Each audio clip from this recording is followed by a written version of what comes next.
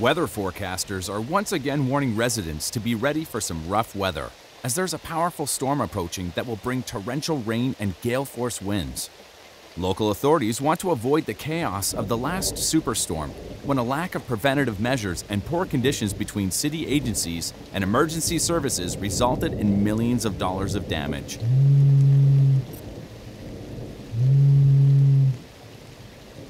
Hi, this is Yuri. The Weather Service says the storm is approaching fast, so it's time to get things moving.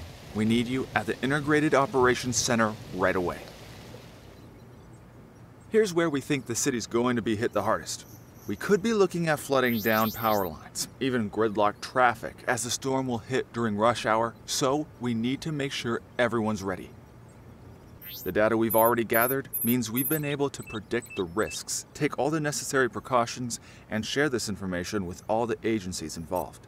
Hopefully, everything goes smoothly and we can prevent a repeat of the chaos of the last superstorm. Be advised, there is an alert coming in. A woman is in labor and needs to get to the hospital fast. There's an ambulance on its way to her, and we've sent the optimal route to the driver to make sure she gets there as quickly as possible. Here's a plot of the route on the map. Wait a second, new information is coming in. Strong winds and a tidal surge are causing serious flooding along the route. The ambulance won't make it through. We need an alternate route, fast. Okay, finding an unobstructed route, we can send the ambulance this way, around without losing any time. Forwarding new route to the driver now.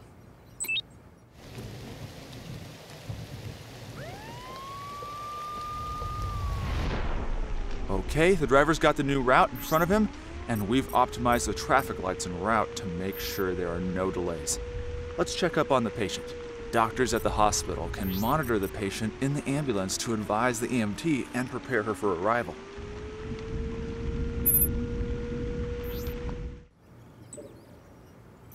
Another potential route change needed.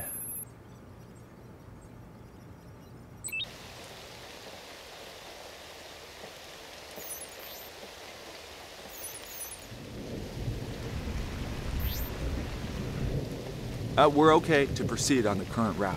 Sensors and CCTV monitoring the storm drains indicate that we're within critical limits, so there's no need to change the routing. Oh, more trouble up ahead. High winds have taken out some power lines just ahead of the hospital. But we have a drone in the area.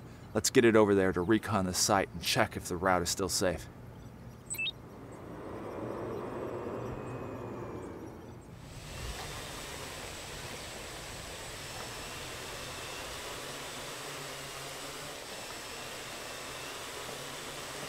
Okay, the drones are on site now. Oh, that looks nasty, but there's still room for the ambulance to make it through. Proceed as advised.